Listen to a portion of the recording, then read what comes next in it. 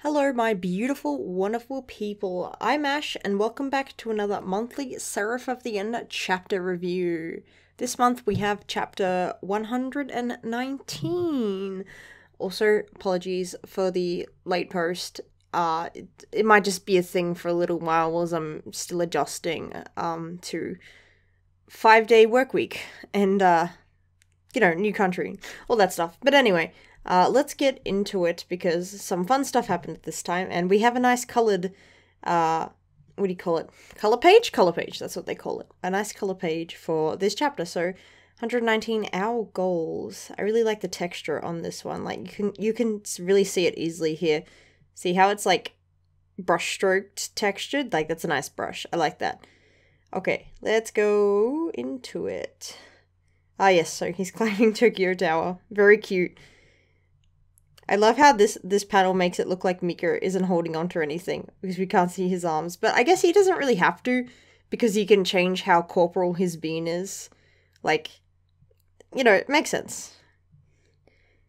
I love it. He's just like climbing. What are you doing? What are you doing there, boy? What are you doing there? How high are you planning to go? What do you think? You think he's gonna stop halfway up? Just catch the breeze, you know?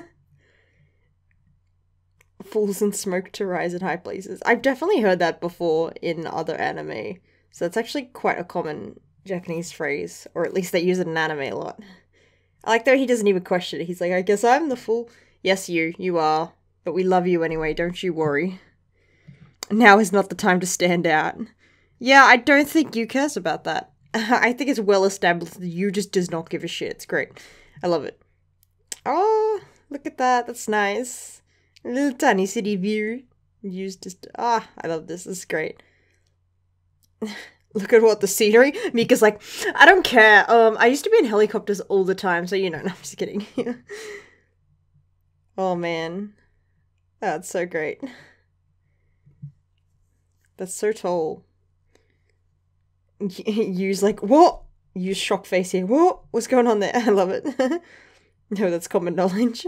Geez, you didn't you pass year seven maths? Oh my god. Everybody must have liked Tokyo Tower a whole bunch. I, I mean, it's a landmark, right? But most of the time, people don't care super much about the landmarks where they live. If you're like from that place or from that country, you usually don't super care about the landmark as much. It's more like, you know, landmarks are like tourist destinations. They're for people from other countries to visit. So, like, I don't know, do Japanese people really care that much about Tokyo Tower? Or do people outside care a lot about Tokyo Tower? That's a, an interesting question. Anyway, he's, uh, oh, this, this, this panel on the left looks really nice. I like the, the, the gentle whoosh of Mika's hair. And Yu's hair just looks like I'm sorry, it looks like garbage. I don't mean that from an art perspective. I mean that from a clearly he has not upkept his hair a lot, and it's just so funny the fact that Mika always looks so good, and that you Yu just looks like a drowned rat, and I love it. I love this drowned rat. He, I think he's perfect. Oh, I love the, the, the way that his tail looks. It's like one of my favorite things about drawing this demon Mika is like just kind of like like doing the squiggle working out where to put his tail. It's great. I love it. this is so good. They're just like, Mika's just like, alright, I'll entertain you. I stand up here at the very top. Doesn't that make me the tallest person ever? Uh Mika's just like, what? his brain's trying to do that logic. I, I love that. Oh my god. God, just the, the gentlest, like, switch of your center of gravity would absolutely throw you off there. Like, god damn it, you really? You really just did that? You shake your hips like that? oh man. I just, I just love how little, like, oh god, poor Mika. He's, he's really been through the ringer for this, hasn't he? oh, it's not like the fall will kill him. Neither is a human anymore. He seems so casual in this. He feels very, um, uh, what's the word I'm looking for? Uh, detached. He feels very detached here. Like, I feel like he, after Yu basically ignored what he wanted before he yeeted out of the group, he, like, I feel like Mika is, like, kind of like stewing a bit in it and he's kind of just detaching from everything around him including Yu to some aspect. Oh, look at him. Would he not still like destroy the ground? Because like the Im- the impact would still like smash the ground, even if he his legs could regenerate immediately, sort of thing. But still, I think that could that could have been like a a good chance for a panel where he just like creates a big circle around him. That could have been cool. Anyway. Wow, I'm totally fine. I'm sorry, you. You're so funny. Mika's just like, oh, like he he jumped too. He he's he can just like warp down there because that's where his sword is. Like, you didn't have to jump as well, Mika. Oh god, he's so cute. Terminal velocity. Oh, he did. He did go to school, fellas. Don't worry, he was paying attention to that. Air resistance stopped me from falling any faster. Yeah, but you still fell pretty fast. It's fine. It's fine. It's fine. oh my god, Mika. I love this. Oh, he really is so detached in this chapter. That's a listen to me look, isn't it? oh, you finally noticed? I've looked this way for oh a good 200 years now. Oh, Mika. Whoa, that long? Oh, Mika's just like... Can't blame him. You're just dumb then. Oh god. Their little their little lover spat they're having here. That's a nice angle of Tokyo Tower actually. I wonder if they went to Tokyo Tower to I wonder if they like specifically got this photo to like uh trace over the bars for it. Like do you think they went uh, like surely they did someone for research went and got this angle. That'd be kind of fun.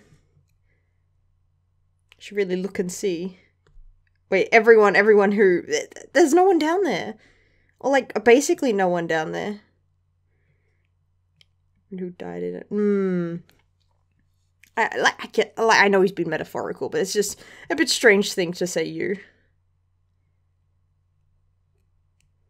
I just had to save my family. I just had to save you.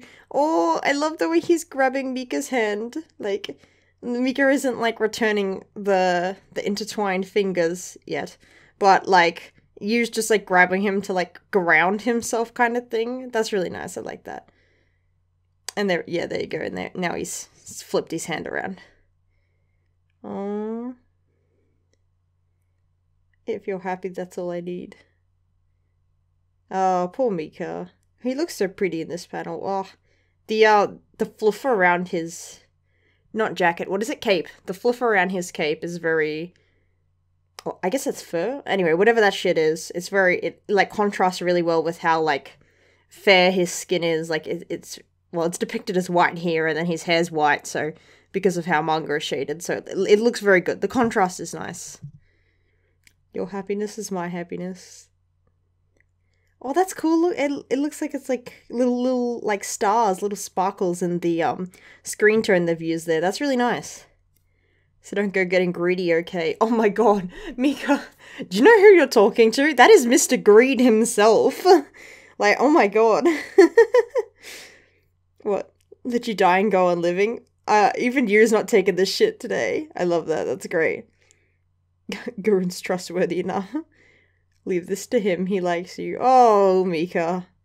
Oh, poor guy. Yeah, you can really tell he's, like, going through it sort of thing at TM. He's going through at TM. Hmm. They begged you not to go. You must have heard that. I heard. Oh. I love when we get these panels of Yu where you like can't see his face, where he's just like very uh, stoic sort of thing. It's very, it's very nice. What if it was you? Mika doesn't have anyone else. Mika ha- didn't have anyone else for four years. You. Like, surely you gotta think about that, man. Would you have done if you were in my shoes? Yeah. You know, it's like, it's like, uh, I, th- I think Kagami once said that, like, uh, if Mika and Yu's positions were reversed, they wouldn't have survived. I think I remember him saying something like that in an interview. It's like if Mika was alone in the human world, he wouldn't have been able to survive. And if Yu was uh, turned into a vampire, then he probably wouldn't have been able to survive because it was like it's like very specific to their personalities that Mika became the vampire and Yu became the protagonist. you know what I mean? Yeah. oh man. I won't give Yu's just like, I'm not taking this bait. It's delicious bait, but I'm not taking it. I, I just love this little he just pushes him away like like gently, you know? I love it. You already turned your back on me and left once. Oh, you abs. Oh god, you can like see what he's doing here, and like I know you're smart enough to know that too. Oh, and Yu's pissed about it. Like you can tell. Like oh oh that that that's the game we're playing. Okay. Okay, okay. The gloves are off today. as long as you're alive, you could build a new family. This is what Mika's been saying to him the whole time. That like you, if you move on from me, your life will like you you you're able to move on. Sorry, that's what he's like. You're able to move on because you're strong enough to keep finding new people. Like when they met in Shinjuku, right? When they had the like the Shinjuku fight, it was like he like said, "Yeah, I'm not surprised to see that you have like new family or like you found a new family because you've always been that kind of person that like people gravitate to him." Um, because of his personality, which is kind of ironic when you think about how Shikama Doji is like, yeah, he's just like the the the body sort of thing. It's just the thing I'm keeping to to save my son that I actually care about. Whereas like Yu has the stronger personality, the actual like personality of a king of like the getting people riled up around him and like what do you call it? Like leading people. Even if Yu isn't the leader of the group, he's still like the central crux of it. That like everyone kind of circles around or like orbits around him. So like he definitely has the more royal like connections or like personality. Whereas like Mika is more refined, yes, because he trained under the queen. But like Yu in terms of like what it means to be a king and what like a monarch does for its people, Yu has more of that, I think. Anyway, that was a that was a tangent that just came to my head. Anyway, yes, Mika is getting very angry, but oh boy, those those little fangies, they come out and I'm excited. Drop your stupid obsession with me already. Oh, Mika, that's not gonna happen. You're the reason he lives. Come on. We've been through this. Oh man. Yu's just like, really? You're trauma dumping? We're trauma dumping each other? Is that what we're doing? Oh, he's trying so you can really tell. Oh, I love that that that cutaway so you don't actually see it happen and then you come back. It's like it makes it makes like a slap it like that more impactful. It's like oh, like you can just you can like hear the smack of the slap when you see this paddle. It's like, oh, it's very nice. How could you think I could start a new life if you aren't in it? you, please. Oh my god. Just pull the ring out and just ask him already. Oh god, now they're fighting. I love it. I, I, I love it because it's just so it's just so them. They they would do this. This is just like the way they get across to each other. Stupid Mika. I love it that the the uh the headbutt bash again. Like, oh man, that's great. I love it. Oh, it's perfect. Oh. Please just give up. Oh, now he's crying. Oh, Mika. Oh. That's so sad. I love his like clenched face. Like he's like suffering. Nothing ever goes my way. Ah, it it's my whole life. Nothing's ever worked out. It's so true. It's like, oh man, Mika just he he keeps trying even though everything goes wrong for him. Like he's had so many things go wrong in his life, and there've been like horrible, horrible things going wrong.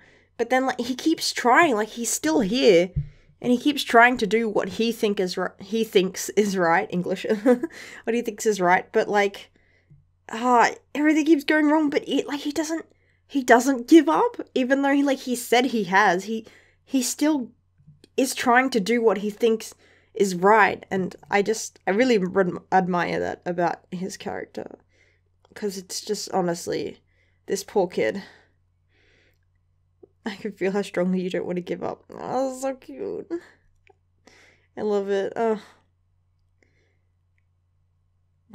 ah, I just, I love it. That they're just, neither of them is gonna budge, and it's like, ah, come on, I love it. Oh. Live anyway. Oh my god. I just have a compliment for that. Fucking compliment me, Mika. Sticks his leg up in the air, compliment me, telling me I was a good boy. Oh man. Oh, Yu. Classic Yu. Are you gonna tell me to abandon you again? Yeah, like. I, like, I can't blame the fact that that was, like, the trigger. Like, basically, Mika saying exactly what Yu feared the most. Like, for him to say that it, it like oh man ah it's like if Yu um was like yeah but you're the one who killed all of our family like that like you know mika's greatest fear um like oh man ah, it's just deep it's intense i love that they just had a, a, goddamn fisticuff fight in front of the tokyo tower sacrifice world to bring me back to life please please please everyone else is already dead their souls have moved on, blah blah blah, all of that drama crap. It let's let's start again. Because more important. He he's an emotional support demon. Yu needs his emotional support demon. Idiot, you're supposed to be the smart one. Use your brain. We haven't thought for ourselves one bit. Yeah, he's he's like right here.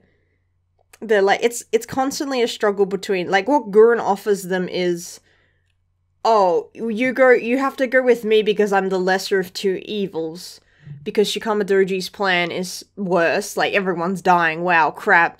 Uh, but Guren's is like, oh, only the vampires die, but we bring everyone back. Um, he's failed to mention the fact that is this gonna be like the last time and they're only gonna get two years? Oh, no, it's not two years, sorry, what was it? It was 10 years? 10, it, yeah, it's 10 years. His friends only have two years left, yeah. So, is everyone gonna come back for 10 years and we think that's gonna be dandy? Are you all just supposed to like birth 10 billion children that are supposed to carry on? Like you're gonna have a bunch of 10 year olds left and like younger than 10, like max 10 year olds. If you get busy right away. You you like you're not gonna have a society again. You're gonna have a bunch of children. Like I I just I I don't think uh, like there's no confirmation that that's going to happen again. Like maybe the sacrificing all of the vampires makes it uh, better and everyone comes back so they can continue their life normally, whatever. But like Guren hasn't said that. And he hasn't said that because I don't think he knows, or if he knows, he's wisely shutting up about it. Because the smarter people in the group, like um Kimizuki and Yoichi, would probably start questioning it. Or it's like, oh, it's only 10 years? Is that really worth it? Like, Mm, like clearly they would still probably pick their family because they would want 10 years back with Tomoe and um, Mirai and anyone else. I can't remember who else was down there. But like, I still think that they would be smart enough to question it because Kimizuki has a brain. Um, and Yoichi also tends to think for himself a bit more. So I feel like Guren might just be avoiding that. I'm tangenting, but the the main fact, the main point is that Guren is the lesser of two evils. So Yu is right here in saying that they haven't thought for themselves because every time Mika has tried to express an opinion, Guren has shut him down. Um, to basically be like, oh, so you're, you're gonna go with the first instead, and then he's like turned to Yu's group, and you know, be like, oh, uh, so you're gonna betray them all. Um, Yu gotta betray humanity and like so he hasn't given like you and mika time to think especially alone because they haven't been alone which i think is important too because if Guren's there he can micromanage what they're thinking and saying so this is kind of crucial in that i think they have a chance here to actually you know do some stuff especially if the gang shows up after this and Guren's like slower or behind them so that um the Shinoa squad has time to actually talk to them and like talk themselves out instead of having like one panel every chapter sort of thing. Anyway, yeah, Guren he's making choices. Yeah, yeah, yeah, so he's making choices for what he think is right and the first is doing the same. So I think he's right in saying that um that yeah, they should they should just talk it out. We haven't thought about anything. I like that we Yu's just like no no no no no. We're gonna we're gonna play our own game here. Yeah, I'm gonna put the checker on the chessboard. That's such a Yu thing to do. Who do we betray? I, I I just get in, kids. It's a betraying time. I just I just love that image. Sorry, it just it just It makes me laugh, like imagining them just being like, you just been like, all right, come on, Mika, tell me who we gonna betray. Come on, come on. That's so good. Before he said you had a plan, what was it? I don't have a plan. oh my god. That the way he answered this was so Guren like. Like how Guren is an early manga where like Shinohara would be like, "Oh, remember when you said this?" and Guren will be like, "What? Hell no, I didn't say that. Piss off." like that was just such a Guren thing to say. Kind of funny, but interesting. Mika just being like, "Oh god, again, suffering.jpg." We're still stuck in those days, Mika. Yeah, you are stuck in the past. It's about time you realized. Oh, we're still trapped and helpless, just like we were when the vampires had us. Yes, very dramatic. Yeah, I mean, you're, you're. He's not wrong. You did come up with a crazy plan. Granted, most of it wasn't your plan so much as it was as it was Ferid's plan. But regardless, you still thought about it when Yu were twelve, fucking twelve years old. When most twelve-year-olds wouldn't be smart enough to do that. Mika is a really smart character. I think he just hasn't had the time to re- especially recently, he hasn't had the time to do anything. Like, he thought about the implications of you still fighting Guren back when he sacrificed himself as a vampire, and he made that decision because to him it's like, oh, I can think up an idea, but most of the time it involves me sacrificing myself or me hurting myself somehow because he doesn't have self worth. So, like, it's no matter to him that he, like, dies or anything like that. So, the idea of going along with Guren because humanity comes back, Yu gets a better life, where he doesn't have to fight vampires at the cost of Mika's life, that's like a win win. Mika sees nothing wrong with that. So, like, I think it's definitely. Like, he could definitely come up with something that would work. And I think if any character could come up with something to beat Shikama Doji and Guren's plans, it would be Mika. Because he's just. He's smart. He just hasn't had a chance recently to really be able to do things for himself because he doesn't care enough about himself to commit to that. But now that like Yu was like telling him about it, like you're smart, I know that better than anyone. Yeah, you can come up with a plan. And he's right. So your plan was to dump it all in my lap. Absolutely. Oh, that's so funny. It's great. Yeah, you're the brains and the brawn. that's great. I love that. Oh, I've got bigger ideas than Guren. Even the first. Yeah, I got the biggest ideas. Why didn't he say my ideas are as big as the Tokyo Tower? You! It's right there for comparison. Oh, wasted opportunity. Bring everybody back. Uh, and there's the idiot. I love that. Neither Guren nor the first can pull that off, but you think you can? Absolutely. Yes, because I'm dumb. Oh my god. He's not wrong like Yu is not weighed down by th- things like the first and uh, Guren are. Like Shikama and Guren are very weighed down by past events, their own history, their own mistakes, blah blah blah, shit like that. But to Yu, it's like less important because he's kind of stopped living in the past and he's more mo- moving on to the future. And it's because of Mika being there by his side that he's been able to do that. So like Mika's presence has already like basically become the answer to this problem. It's like you really can't stop Yu at some point. Like that's how it's gonna go down. do I really have to do this? oh, poor Mika. Oh god, they're so cute. I love though his tail curls even here. That's such a good, just oh, important detail we need. oh man. If anybody could do it, it could, it would be Mika. You want me to think up how? oh. And if it doesn't work, we'll both just die. Oh my god. Jesus Christ. The same goal we decided on the way back then. Ah. I love that. He's like, you know what? If your plan doesn't involve both of us surviving, then I, I won't survive, and that's what you want the most. So He's really backed Mika into a corner, but it's like a corner I think Mika can work from. Definitely. Or the page is taking like forever to load. I just real I just really feel like yeah, Mika could come up with something. As to what that thing is, I don't actually know. I personally would have no idea how Mika would come up with something. This is cute. I like this. Where he's like, "Oh, we all survive," and then like I'm assuming Mika's imagining this of like, oh, I'm sorry, look at look at their little faces. Oh, Kid Mika and Yu makes me so sad. They're just so cute and happy and full of life. Oh, memories. It's great. Oh, and he agrees to it. That's so good. That's so good. Oh man, I, I'm really excited to see what happens. Like, I feel like it's gonna be like one of those moments where it's like in the heat of battle or the heat of something going on. Like Mika's just gonna make the connection to something, and I'm like, "Oh, I want to know what that is. It's like I haven't really thought about it that much because it's always been Guren's shitty plan or Shikama's shitty plan. What's gonna happen?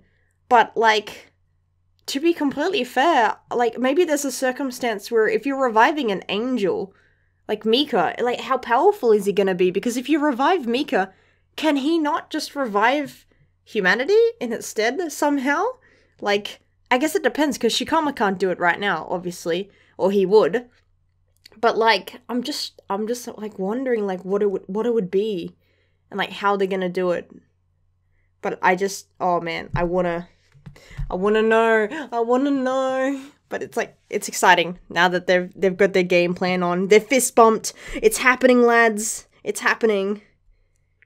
So yeah, no idea what the next chapter will be about. I'm assuming we're gonna change point of view because I was so sure Shikama was gonna show up in this chapter. Which you know, I'm not. I don't have a great track record of predicting how Kagami paces his plot versus how I would pace a plot. But like, I think next chapter it feels like we're gonna have a point of view shift because uh this is like a nice, neatly wrapped bow sort of thing, this chapter. So now we move on to progress the plot of other characters. Maybe maybe Shinya and Kureto will wake up finally. Who knows? But this is a good chance to like look in on other characters and see how the rest of the plot is unfolding because it's not it can't all just be about Yu and Mika if there's no uh there's no cataclysm working against them now. So we'll see how it goes. But yeah, that's it from me. So thank you for watching. Uh, feel free to leave your thoughts below. What do you think about the chapter and everything? All that jazz. And I'll see you next month. Until then, take care of yourselves. See ya.